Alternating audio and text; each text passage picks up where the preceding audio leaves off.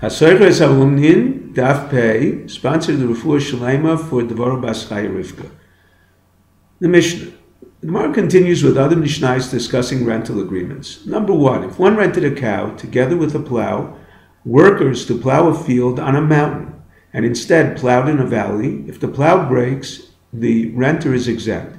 The owner risks the plow breaking on a rocky or mountain terrain. Therefore, plowing in a valley is not a breach of contract. If the contract is reversed, however, then the renter is responsible. Number two, if one rented a cow to thresh legumes and used it to thresh grain, if the animal slips, the renter is exempt. Grain is not as slippery as legumes. However, if the contract was reversed, then the, the renter would be liable. The Gemara determines where the renter did not deviate from the contract and the plow broke, the one who holds the blade is liable. Although the Gemara suggests that it could be the one who holds the goad, since he did not direct the animal properly, the conclusion is the one who holds the blade, unless they both knew it to be exceptionally rocky terrain, then both are liable. Murr discusses now a seller who exaggerates the defects of his product, so the buyer cannot void the sale.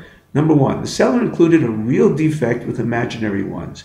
The buyer can void the sale. He inspected the item for the imaginary defects, assumed just those were exaggerated, and the same way that those were exaggerated, the real one was also an exaggeration. Number two, the seller specified one and not the others. In that case, he cannot void the sale. He should have inspected the item for the defect he mentioned specifically. Number three, all the defects the seller mentioned were present. The buyer was particular about one. He cannot void the sale since he should have inspected the item since the other defects were real. Now we move on to a new Mishnah. The Mishnah continues with the same theme. Number one, one rented a donkey to transport wheat and instead transported barley, which is lighter. He is liable for any injury caused to the donkey. Number two, one rented it for transporting wheat and transported straw that is lighter. He is liable for any injury caused to the animal. The Mishnah explains the reason for both cases as the renter added three kabim or one thirtieth more of weight.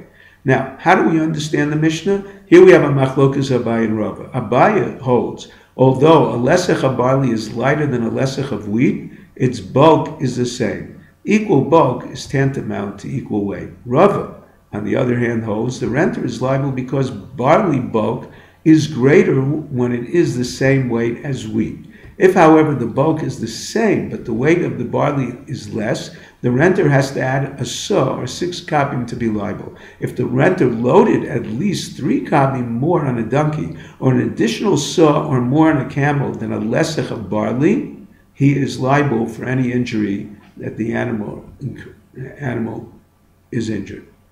The Gemara now discusses excess loads on other modes of transport. A porter can carry 30 kab and excess is one kab. The employer is liable for his injury for exceeding the limit.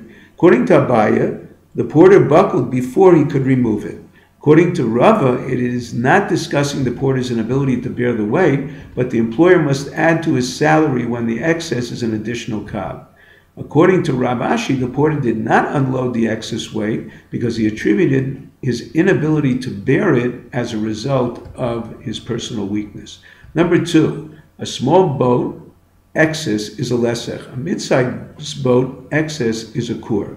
A large ship excess is three kurim. If one purchases a boat in any of these classes without measuring its exact area, he is entitled for them to bear these excesses. Otherwise, he can void the sale. Now we come to a new Mishnah. The Mishnah discusses the level of custodianship in relation to craftsmen. Craftsmen are Shomrei Sachar, paid custodians. The Gemara questions whether the Mishnah can follow Rebbe Meir, who holds a renter is a Shomer Chinam, an unpaid custodian. By the same token, the craftsman services the item of benefit. He pays for the benefit of the item he uses in the case of a renter. It is a Stam Mishnah that should follow Rebbe Meir's opinion. Rebbe Yehuda, on the other hand, holds that a renter is a Shomer Sachar since he benefits from the rented item it would seem he is the author of the Mishnah because the craftsman also benefits from the item that he services.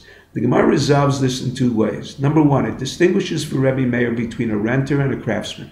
Craftsman benefits in addition to his fee that he withholds the item he serviced until he gets paid. He does not have to run after the customer for the money. Number two, It reverses the opinions of the Mishnah for the renter. According to this answer, the craftsman, according to Rabbi Meir, is a Shomer Sachar. Therefore, A, he benefits by being chosen over his competition. B, he gets paid for the job, so he probably earns a little bit more than he deserved.